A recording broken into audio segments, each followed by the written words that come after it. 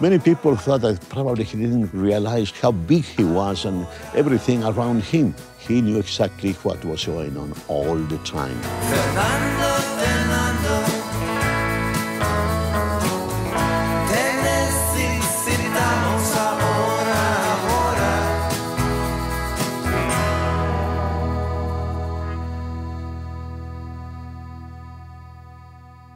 When Fernando Valenzuela began his incredible run with the Dodgers in 1981, he was a virtual mystery to the press and most fans. We knew he was a kid from Mexico who had arrived to Los Angeles with a wicked screwball that flummoxed batters, but his bio was a blank slate. Here's this young man from Etchohuaquila, small community in Mexico, speaks very little English, looks up to the top of his cap or to heaven as he delivers the ball. There was a great mystique about him. Right from the start, uh, it was a big deal.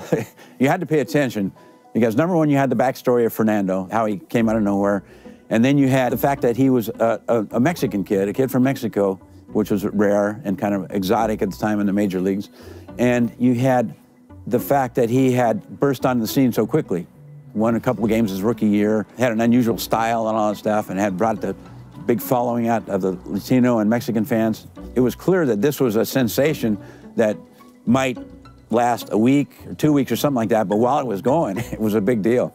The best part about it was just being there. To have it be my, my beat and my story, and to have it be as special as it was, I mean, you know, you don't get them like that. We'd have four, five, six people out there on some nights in a big game, uh, you know, doing everything from fans in the stands to uh, Fernando's style that night to what he did before the game. It was, this is Los Angeles. That was the same with Shaq. That was the same with Kobe. This is Hollywood, and when there is a taste of a star, we go at it. And, and in those days, the Los Angeles Times had the resources to go at it like no other paper.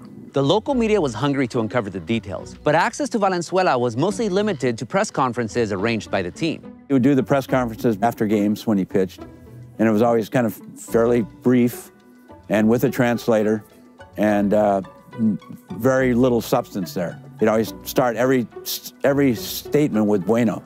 It's, you'd ask him a question, and he'd say, bueno, uh, I, I pitched pretty good tonight. I had my screwball working, and very basic stuff. He just didn't give you, give you much color. He didn't speak the language at all. Uh, I don't know if he understood some. I don't think so. So in 1981, I started uh, being with Fernando. I was uh, really surprised to see the way he conducted himself. Many people thought that probably he didn't realize how big he was and everything around him. He knew exactly what was going on all the time. I think he knew what was happening. It's just a matter of saying, you know what, I'm going to lay back, stay in the side. There was this way, there was no problem, anything that happened or anything that, you know, if uh, he didn't have to then uh, explain himself if anything went wrong. The only thing I know is uh, what's what's going on on the field, you know, and and really that's not surprised me. All the people or the or the media want to want to talk. One thing about Fernando is he never seemed to say the wrong things. Uh, he said, I'd rather stay quiet if I don't know how to answer the question. I said, good. And I remember, for instance, in New York, it was a madhouse at Shea Stadium. Was about at least 100 reporters. The strike was coming on soon, and they start asking very difficult questions about the strike. And he only said, look, I am here to pitch. I don't know much about, about contracts and, and, and things like that. So next question, please. He was good with the press because he didn't have, he couldn't talk to him. I mean, that was good too. He, could, he couldn't say stupid things because he couldn't understand the language. But it didn't stop local media outlets like the LA Times and La Opinion from trying to learn more about the pitcher. He wasn't comfortable, was not comfortable doing uh, interviews. I understand that it was, it was hard for him. It was not his nature. He was outgoing around his teammates. He was very playful and, and they loved him and he got along great. And Fernando gave our photographer more access. What uh, Fernando, what happened was this: he was not a well-educated guy as far as uh, uh, academically. So he, he used to hang around with people that were also not very highly academically uh, uh, involved. So our photographer was also like a street guy out of Chihuahua, out of uh, Ciudad Juarez. So he, it- they spoke the language. He said, hey, you know, how's everybody and so on. And they, they, he became uh, very trustworthy for him.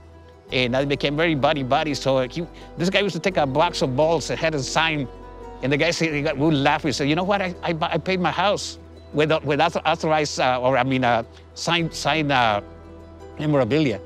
So that's how well they got along at that point. The local papers may have been left trying to get Fernando Valenzuela's story, but Fernandomania nevertheless had an enormous impact on them. I have no doubt that Fernando's success and, and the sensation he created and the energy he brought just created, I, I'm sure, more of an awareness of the Latino community in, in Los Angeles. And I have no doubt that that caused the Los Angeles Times and other papers to pay more attention to these people. Fernando pretty much, I would say, uh, sold 60% over what, what was being sold before. I think Fernando did have an impact on our editorial judgment. It opened up some eyes. Uh, we, I know we gave more freedom and license to a guy like Frank del Olmo, who wrote a lot about him, followed him closely, and, and I think Frank led the, the push for a Pulitzer Prize that, that we won.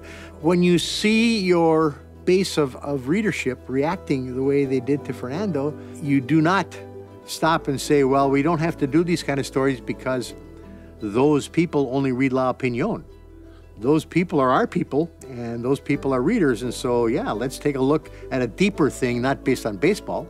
And that's why and how we won a pulitzer prize. I think that is all connected